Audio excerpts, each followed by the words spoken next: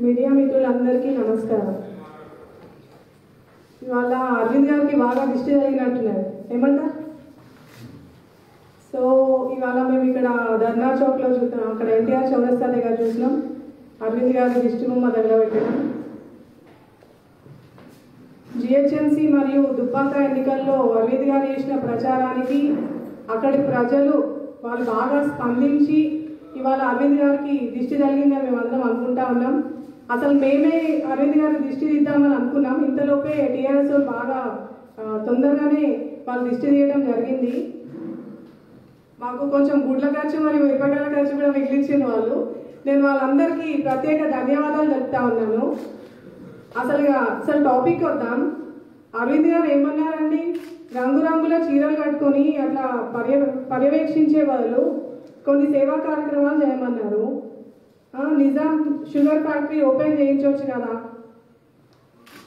పసుపు రైతులకి ధర వచ్చేటట్టు ప్రపోజల్ పెట్టించవచ్చు కదా వాళ్ళ నాయనకు చెప్పి. మక్క కొనుగోలు కేంద్రాల్లో సెంటర్ కేంద్రం ఇచ్చిన ఎంఎస్పికి కొనుగోలు చేయించవచ్చు కదా. ఇలాంటి సేవా కార్యక్రమాలన్నీ చేయించాలని చెప్పేసి ఆయన అన్నారు. ఆయన ఉద్దేశం అది.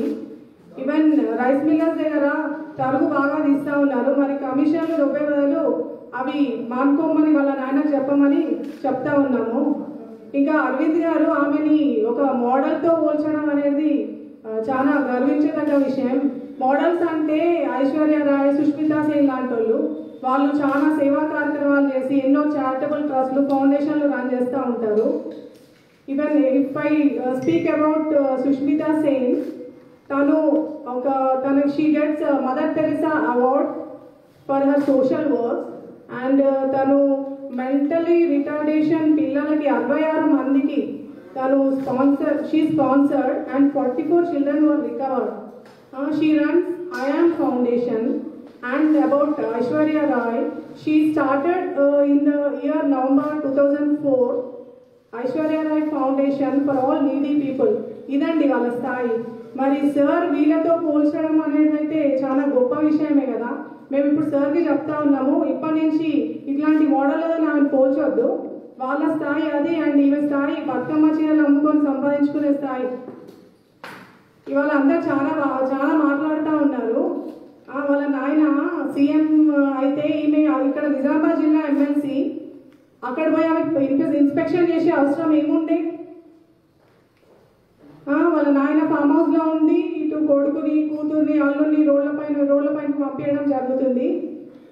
నేను వాళ్ళ నాయన చేసి ఒక ఆడియో క్లిప్పింగ్ చూపిస్తాను మీకు.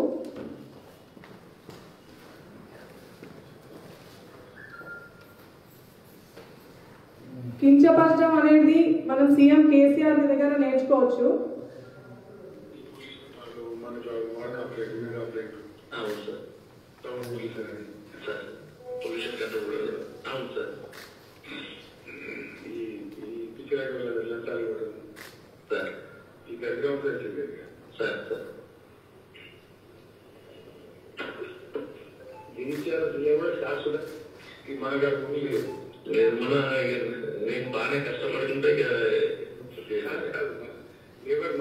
మనోళ్ళు లేదు సార్ మనోళ్ళు ఈ ఇదేంది టూ హండ్రెడ్ పనికి ఆరు పక్కన మాట వెయ్యి ఆరు గంటలకు తొమ్మిది గంటలకు వచ్చే వరకు టూ హండ్రెడ్ రూపీస్ మనీ వచ్చే వరకు టూ ఫిఫ్టీ వచ్చే వరకు. ఈ అందరూ సో సోదరు సోదరు సోదరు పోతు తయారైంది సార్. సార్ అక్కడ ఏం చేసిన వాళ్ళకి అదైతే కనుక మన దగ్గర మనం పని చేసుకోవాలంటే చేయలేదు సార్.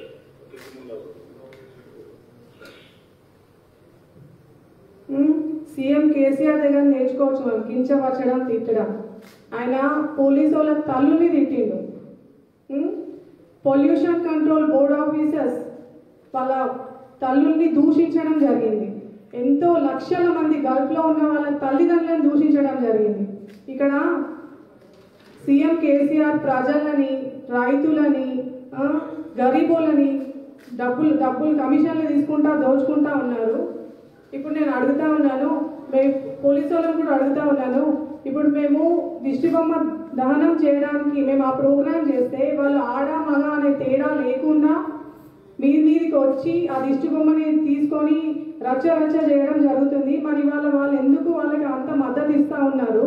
వాళ్ళకి సోయి లేదా? పండుకొని ఉన్నారా ఏంది? వాళ్ళు దే ఆర్ గవర్నమెంట్ సర్వెంట్స్ అందరికి ఈక్వల్గా వర్క్ చేయాలా? ఇప్పుడు సీఎం కేసీఆర్ గారు తిట్టింది కదా పోలీసు వాళ్ళని. ఇప్పుడు ఇప్పుడైనా కనీసం బుద్ధి బుద్ధి తెచ్చుకొని వాళ్ళు అందరికీ ఈక్వల్గా పని చేయాలని చెప్పేసి నేను చెప్తా ఉన్నాను. ఇప్పుడన్నా వాళ్ళ ప్రవర్తన మార్చుకోవాలి. అండ్ ఇవాళ మేము ధర్నా చౌక్లో ఉన్నప్పుడు చూసినాము. వాళ్ళ దిష్టి బొమ్మ దహనం ఎట్లా ఉంది అంటే కనీసం పట్టుమని పది మంది కూడా టీఆర్ఎస్ కార్యకర్త కార్యకర్తలు లేరు. ఆ ఉన్న పది మంది కూడా ఆమెకి చెంచాగిరి అండ్ గులాంగిరి వేసిన వాళ్ళు నిల్చొని ఉన్నారు. మిగతా వాళ్ళందరూ రెండు వందల రూపాయల చొప్పున వచ్చిన పెయిడ్ వర్కర్స్ అంటే ఎంత సిగ్గుచేటంటే వాళ్ళకి కనీసం వాళ్ళకి కార్యకర్తలు కూడా లేరు. ఇవాళ ఇక్కడ నిజామాబాద్ ఎంపీ గారి దిష్టిబొమ్మ దిష్టిబొమ్మ దహనం చేస్తూ ఉంటే పోలీసు వాళ్ళు చూస్తూ ఉన్నారు. ఇక ముందు వాళ్ళు ఇట్లా వ్యవహరిస్తే మాత్రం మేము కూడా రోజుకి ఇరవై మంది దహనం చేయడానికి కూడా సిద్ధంగా ఉన్నాం. వాళ్ళందరినీ మేము బొంద పెడతామని చెప్తా ఉన్నాం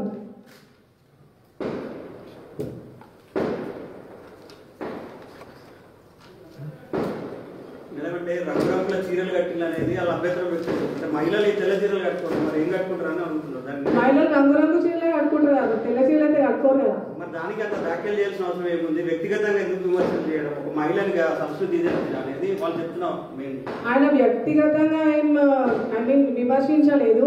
అంటే ఆయన ఒపీనియన్ ఏంటంటే ఇక్కడ జిల్లాలో మస్తు పనులు ఉన్నాయి అక్కడ పోయి జగిత్యాల బ్రిడ్జ్ ఇన్స్పెక్షన్ చేసే అవసరం ఏముంది? ఆమె నిజామాబాద్ జిల్లాకి ఎమ్మెల్సీ. సో ఆమెకి అక్కడ ఏం మాట్లాడుతుంది అంటే వాళ్ళ ఆయన వాళ్ళ అభ్యంతరం చెప్తలే మేడం. రంగురంగుల చీరలు కట్టుకొని మోడలింగ్ చేస్తుంది. ఒక ఎంపీ ఒక ఎమ్మెల్సీని అట్లా విమర్శించడం ఎంతవరకు కరెక్ట్ ఒక మహిళగా మీరు సమర్థిస్తారా? అంటే నేనైతే విమర్శించి నేను అనుకోవడం లేదు. అక్కడ తెల్ల చీర అని అనలే కదా రంగురంగుల చీరలు obvious గా లేడీస్ అంతా రంగురంగుల చీరలే కట్టుకుంటారు కదా.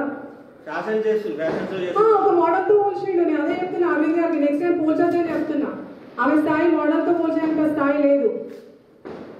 మోడల్ తోనే కదా పోల్చినట్టు. ఆ, మరి? ఆమెకి ఇంకా ఆమెని కింద ఆమెను ఆకాశానికి ఎక్కించేది కానీ కిందకైతే దించలే దించవచ్చలే కదా. ఈ compared with model that's why నేను చెప్తాను ఇప్పుడు ఒక ఐశ్వర్య రాయ్ అండ్ వీళ్ళంటే మోడల్స్ సార్ ఎందుకు కంపేర్ చేసిండు అసలు మోడల్తో అనేది? నేను మేము ఉల్టా మేమే చెప్తాను నెక్స్ట్ టైం కంపేర్ చేయొద్దని చెప్తా ఉంటాం.